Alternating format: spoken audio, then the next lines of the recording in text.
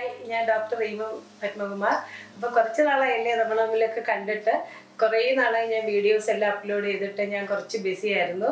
P H S സിയുടെ training സെഷനും സെമിനാർസും ഒക്കെ ആയിട്ട് ഒത്തിരി ബിസി ആയത് കാരണം കുറച്ച് നാൾ നമ്മൾ തമ്മിൽ കാണാൻ പറ്റാതായി പോയി. നേരത്തെ ഉള്ള ഹെയർ സ്റ്റൈൽസ് എന്ന് വെച്ചാൽ ഒരു പത്ത് വർഷം മുമ്പുള്ള ഹെയർ സ്റ്റൈൽസ് ആണ്. അതൊക്കെ ബേസിക് ഹെയർ സ്റ്റൈൽസ് ഒക്കെയാണ് അപ്ലോഡ് ചെയ്തിട്ടുണ്ടായിരുന്നത്. അപ്പം അത് ഞാനിപ്പോൾ എന്തായാലും ഡിലീറ്റ് ചെയ്യുന്നില്ല. കാരണം ബേസിക് കോഴ്സ് നമ്മൾ ഹെയർ സ്റ്റൈൽ പഠിപ്പിക്ക പഠിക്കുന്ന സ്റ്റുഡൻസിന് അത് വളരെ ഉപകാരം ചെയ്യും. അതുകൊണ്ട് ഞാൻ അത് ചെയ്യുന്നില്ല. ഇപ്പോൾ കുറച്ച് അഡ്വാൻസ്ഡ് ആയിട്ടുള്ള ഹെയർ സ്റ്റൈൽസിന്റെ ട്യൂട്ടോറിയലാണ് ഞാൻ ഈ വൺ ബൈ വൺ ആയിട്ട് ഇനി കുറച്ച് നാൾ നിങ്ങളുടെ കൂടെ ഉണ്ടാവും.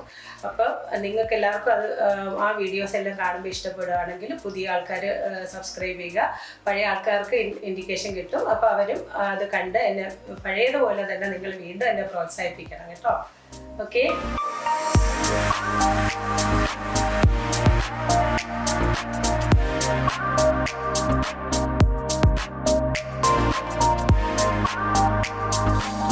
ഹെയർ സ്റ്റൈലിലോട്ട് കിടക്കാം. മിഡിൽ പാർട്ടീഷൻ എടുത്തു ഇയർ ടു ഇയർ സെക്ഷൻ ഇങ്ങോട്ട് മാറ്റി. മാറ്റിയിട്ടിട്ട് നമുക്ക് ഇവിടെ ഫ്രണ്ടിൽ ആദ്യം വർക്ക് ചെയ്യാം. സാധാരണ നമ്മൾ എപ്പോഴും ഹെയർ ചെയ്യുമ്പം ബാക്ക് സൈഡ് ചെയ്തതിന് ശേഷമാണ് ഫ്രണ്ടിൽ ചെയ്യുന്നത്. ഇതിപ്പോൾ നമുക്ക് ബാക്ക് സെക്ഷൻ തന്നെ ആദ്യം തുടങ്ങാം. ബാക്ക് എന്ന് വെച്ചാൽ മിഡിൽ സെക്ഷൻ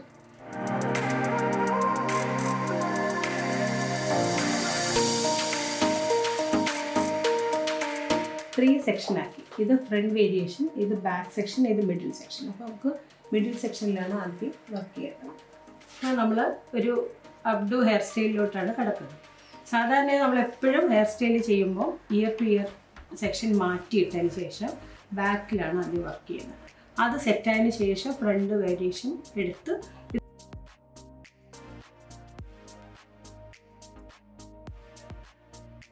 അതിനുശേഷം ഒന്നിങ്ങനെ ചെറുതായിട്ടൊന്ന് ട്വിസ്റ്റ് ചെയ്തു.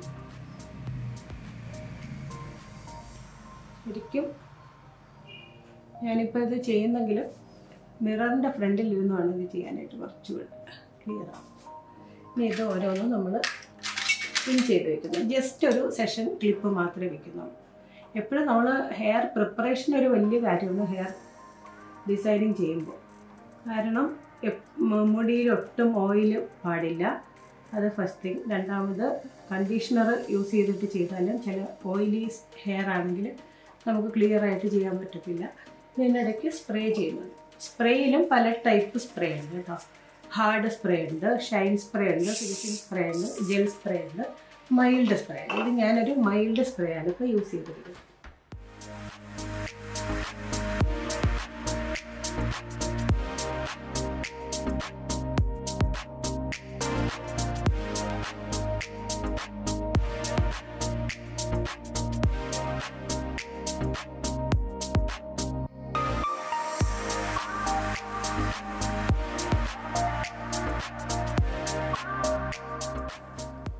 ജസ്റ്റ് ഒരു ക്ലിപ്പ് ചെയ്ത് വെക്കണേ ഇനി അതിന് ശേഷം ഇവിടെ പിൻ ചെയ്ത് വെക്കുന്നത് ഒരു സെഷൻ കഴിഞ്ഞു. ഇനി അടുത്ത സെഷൻ ഓരോന്നായിട്ട് മിഡ് ഏരിയയിൽ നമ്മളിങ്ങനെ ഓരോ ലെയേഴ്സ് ആയിട്ട് കൊടുക്കുകയാണ്. കുറച്ചൊരു റൂട്ട് ബാക്ക് ഹോമിങ് കൊടുക്കുകയാണ്. കുറച്ചൊന്ന് ബൗൺസ് ചെയ്ത് വരാൻ വേണ്ടിയിട്ടാണ്. അല്ലെങ്കിൽ മുടിയങ്ങ് ഒതുങ്ങിപ്പോവും. അതിന് സ്പ്രേ ചെയ്ത് ഒന്ന് സെറ്റ് ചെയ്തിട്ടാണ്. ഒന്ന് ട്വിസ്റ്റ് ചെയ്തെടുത്ത് വെക്കുന്നത്. ഇത് ഫ്രണ്ട് സെക്ഷൻ അതുപോലെ ഒരു ചെറിയൊരു പീസ് എടുത്ത് ട്വിസ്റ്റ് ചെയ്ത് ഈ മിഡിൽ ചെയ്തതിന്റെ ഗ്യാപ്പിലൂടെ കൊണ്ടുവന്ന് വെളുപ്പിച്ചത്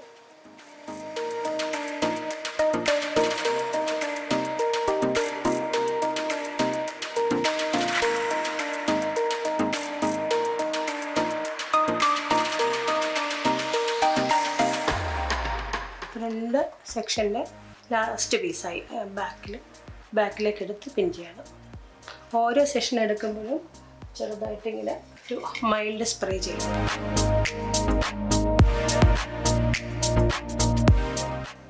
അടുത്ത സെക്ഷന് ഓരോ പ്രാവശ്യവും ഒരു റൂട്ട് കോം ബാക്ക് കോമിങ് ചെയ്തിട്ട് ജസ്റ്റ് സ്പ്രേ ചെയ്യണം.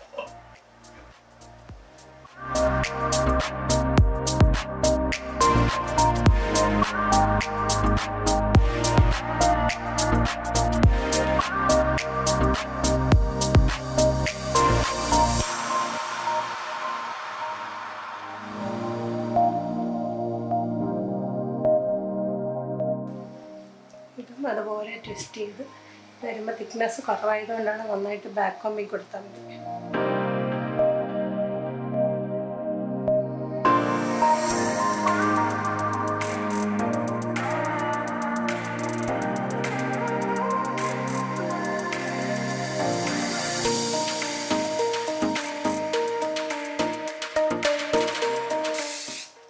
മൈൽഡ് സ്പ്രേ ചെയ്ത് ഇതിപ്പം സ്പ്രേയിൽ എൻസോ എന്ന് പറഞ്ഞ മീഡിയം സ്പ്രേ ആണ് ഒത്തിരി ഹോൾഡ് ഇല്ല എന്നാൽ തീരെ ഹോൾഡ് കുറവുമല്ല ആ ഒരു മീഡിയം സ്പ്രേ ആണ് ഹെയർ ഡു ചെയ്യുമ്പോൾ ഏറ്റവും നല്ലത്.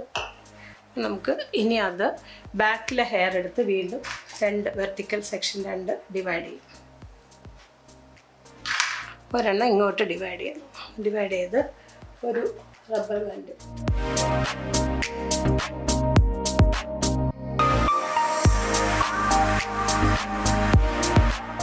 നന്നായിട്ട് റബ്ബർ ബാൻഡ് റബ്ബർ ബാൻഡ് എപ്പോഴും ഇടുമ്പോൾ രണ്ട് റബ്ബർ ബാൻഡ് ഒരുമിച്ച് ഇടുന്നതാണ് നല്ലത്. ഒരെണ്ണം പൊട്ടിയാലും ടെൻഷനില്ല അങ്ങനെ രണ്ട് റബ്ബർ ബാൻഡ് ഒരുമിച്ച്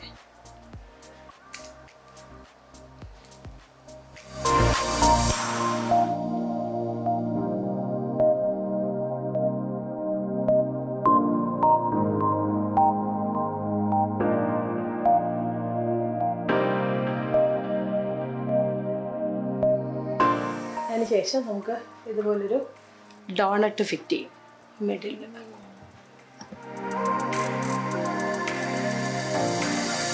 കുറച്ച് ലെങ്ത്തുള്ള യു പിൻ വെച്ചിട്ടാണ് ചെയ്യേണ്ടത്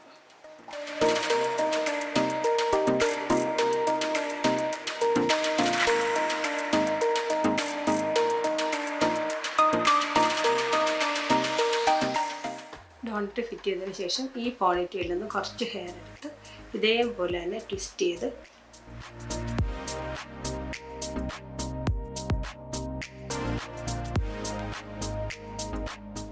ഓരോന്നിങ്ങനെ പുള്ളി ചെയ്തെടുക്കുക.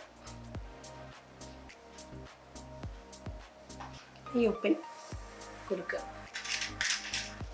ഇതിന് ഒരു മീഡിയം യുപ്പിനാണ് എടുക്കുന്നത്. നേരത്തെ ഡോണട്ട് ഫിറ്റ് ചെയ്യാനായിട്ട് വലിയ ലെങ്ത്തുള്ള യുപ്പിനാണ് ചെയ്തത്. ഇനി അത് കഴിഞ്ഞ് ഇപ്പുറത്ത്.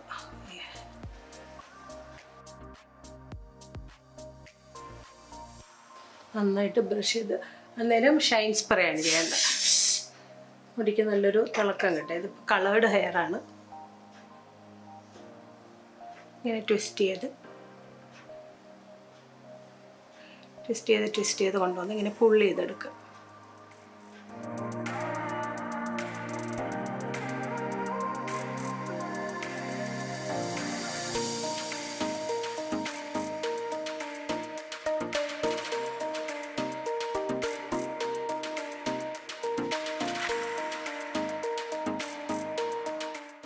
ഇതിൽ ഓരോ സെഷൻ എടുക്കുമ്പോഴും ഷൈൻ സ്പ്രേ ആണ്. അത് ഫിനിഷിംഗ് സ്പ്രേ ആണ്. ഓസിസ് ഷോസ്കോഫിന്റെ തന്നെ ഓസിസ് പ്ലസ് എന്ന് പറഞ്ഞ ഷൈൻ സ്പ്രേ ആണ് ചെയ്യുന്നത്.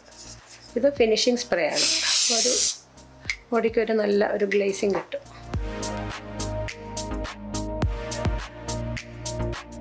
ഫുൾ ചെയ്ത്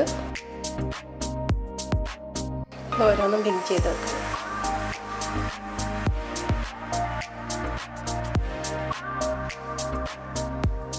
പിൻ ചെയ്യണം.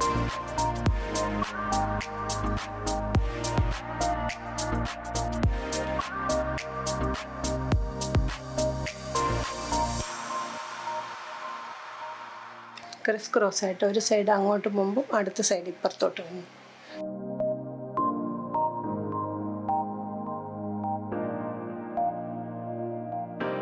ഫൈനൽ സെക്ഷൻ എടുത്തിട്ട് കംപ്ലീറ്റ് ചുറ്റി കൊണ്ടുവന്ന് പിൻ ചെയ്യാം.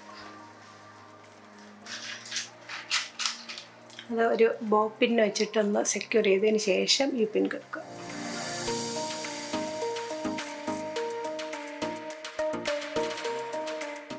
ലാസ്റ്റ് സെക്ഷൻ ഇരുന്നത് ഇവിടെ നന്നായിട്ട് പിൻ ചെയ്ത് ഒരു റൗണ്ട് ഷേപ്പിലെടുത്തു ഫേസ് കുറച്ച് ചബി ആയതുകൊണ്ട് ഞാനിങ്ങനെ റൗണ്ട് ചെയ്താണ് എടുത്തേക്കുന്നത്. നമുക്ക് ഇത് ഈ ബൺ ചെയ്യുമ്പോൾ ഓവൽ ഷേപ്പിൽ ചെയ്യാം കുറച്ച്. ഇപ്പോൾ റൗണ്ടിന് ചെയ്തിട്ട് ഇനി flower decoration flower decoration artificial flower വെക്കാം. അതല്ലെങ്കിൽ സ്റ്റോൺസ് മാത്രമായിട്ടുള്ളത് വെക്കാം. ഇതിപ്പം ഞാനൊരു ഒരു നാച്ചുറൽ ഫ്ലവേഴ്സ് വെച്ചിട്ട് ഒരു കളർഫുൾ ആയിട്ടാണ് ചെയ്യാൻ ഉദ്ദേശിക്കുന്നത്. അപ്പോൾ അങ്ങനെ വെച്ചിരിക്കുക വെക്കാൻ പോവാണ്. കുറച്ച് കളർഫുൾ ആയിക്കോട്ടെ എന്ന് വിചാരിച്ചു. അങ്ങനെ കുറച്ച് കളറായിട്ട് വെച്ചു. ഇതിപ്പോൾ ഡെക്കറേഷൻ എന്ന് വെച്ചാൽ ഓരോ നമ്മളെ എന്താണ് പ്രോഗ്രാം അതിനെ ഡിപ്പെൻഡ് ചെയ്തിരിക്കും. ഡെക്കറേഷൻ അല്ലെങ്കിൽ ആർട്ടിഫിഷ്യൽ ഫ്ലവർ വെക്കാം ജിപ്സം ഫ്ലവേഴ്സ് വെക്കാം.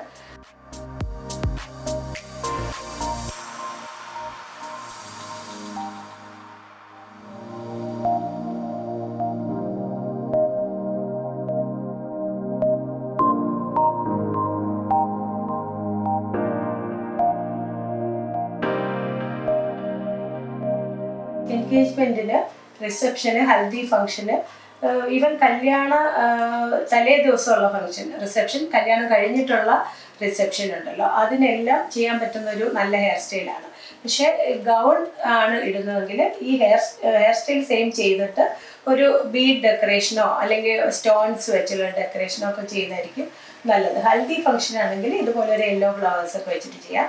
നമ്മൾ ആ ഫംഗ്ഷനും കൂടെ നോക്കിയിട്ടുള്ള ഡെക്കറേഷൻസ് വേണം എപ്പോഴും കൊടുക്കേണ്ടത്.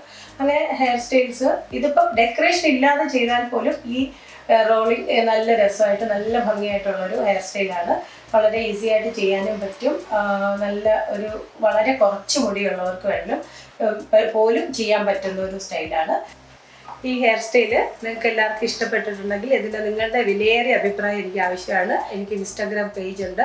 അതിന്റെ ലിങ്ക് ഞാൻ ഡിസ്ക്രിപ്ഷനിൽ കൊടുക്കുന്നതാണ്. വീഡിയോ നിങ്ങൾക്ക് ഇഷ്ടപ്പെട്ടെങ്കിൽ നിങ്ങൾ ലൈക്ക് ചെയ്യണം സബ്സ്ക്രൈബ് ചെയ്യണം. പിന്നെ ഇനി അടുത്തൊരു വീഡിയോ ആയിട്ട് നമുക്ക് വീണ്ടും കാണാം. Okay bye bye